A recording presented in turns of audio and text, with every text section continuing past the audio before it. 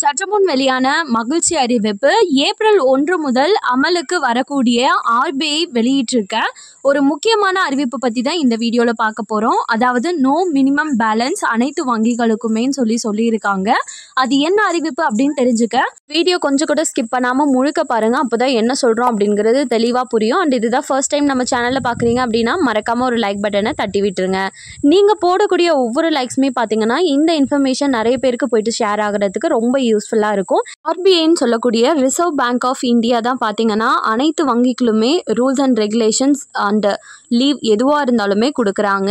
So இந்த நிலையில் April ஒன்று முதல் பார்த்தீங்கன்னா ரிசர்வ் வங்கியின் இணையதளத்தின்படி இரண்டு ஆண்டுகளுக்கும் மேலாக கணக்கில் எந்த பரிவர்த்தனையும் நடைபெறவில்லை என்றால் சேமிப்பு மற்றும் நடப்பு கணக்குகள் செயலற்றதாக கருதப்பட வேண்டும். இரண்டு ஆண்டுகளாக செயல்படாத கணக்குகள் தனித்தனி கணக்கு புத்தகங்களில் பிரிக்கப்பட்டு பராமரிக்கப்பட வேண்டும்.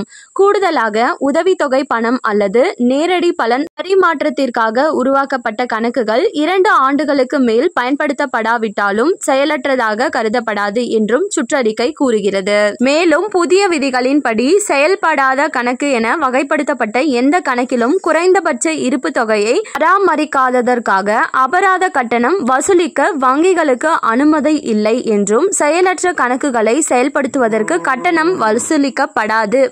என்றும் இந்த புதிய விதிகள் ஏப்ரல் ஒன்று முதல் நடைமுறைக்கு வரும் என்றும் தகவல்கள் வெளியாகியிருக்கு. அதாவது பாத்தீங்கன்னா ரிசர்வ் பேங்க் ஆஃப் இந்தியான்னு சொல்லக்கூடிய ஆர்பிஐ அனைத்து வி வங்கிகளுக்குமே ஒரு விதியை வந்து வெளியிட்டிருக்காங்க. ஏப்ரல் ஒன்று முதல் அமலுக்கும் வர இருக்கு. அதாவது ரெண்டு வருஷமா வந்துட்டு எந்த பேங்க் டிரான்சாக்ஷன்ஸும் நடக்காம இருக்க savings bank account and current bank account எதுவா இருந்தாலுமே செயலற்றதா வந்து கருதப்படும் சொல்லியிருக்காங்க.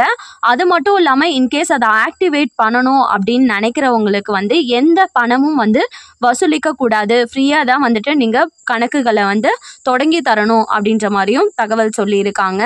ஸோ இது வந்து பார்த்தீங்கன்னா ஏப்ரல் ஒன்றாம் தேதி முதல் அமலுக்கு வர இருக்கிறதா தகவல் வெளியாகிருக்கு மேலும் இது போன்ற கவர்மெண்ட் அறிவிக்கிற Aadhaar card update PAN card update ration card அப்புறம் உரிமை தொகை பற்றினது இந்த மாதிரி அனைத்து உண்மை அப்டேட்களையும் உடனுக்குடனே தெரிஞ்சுக்கணும் அப்படின்னு நினச்சிங்கன்னா மறக்காமல் நம்ம சேனலை சப்ஸ்கிரைப் பண்ணிக்கோங்க.